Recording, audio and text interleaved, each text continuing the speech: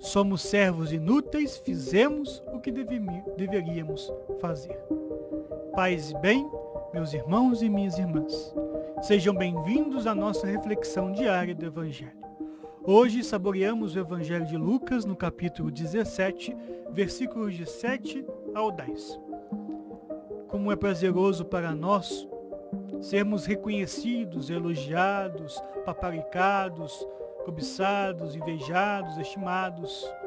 Por vezes fazemos muitas coisas boas, somos solidários com os necessitados, buscamos levar a reconciliação a nossas famílias e amigos. Fazemos progressos com o nosso trabalho, que não é só em nosso benefício, etc.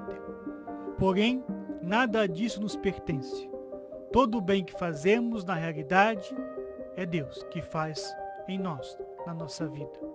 Dele vem a nós tudo o que é bom, nossos talentos, nossos dons, nossos desejos, nossos propósitos, ideias, nossa história de vida, a concretização dos nossos projetos.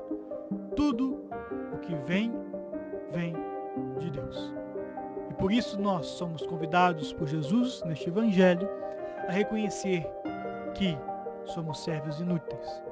Inúteis porque fazemos sim aquilo que devíamos fazer, ou seja, a vontade de Deus, a graça dele em nossas vidas.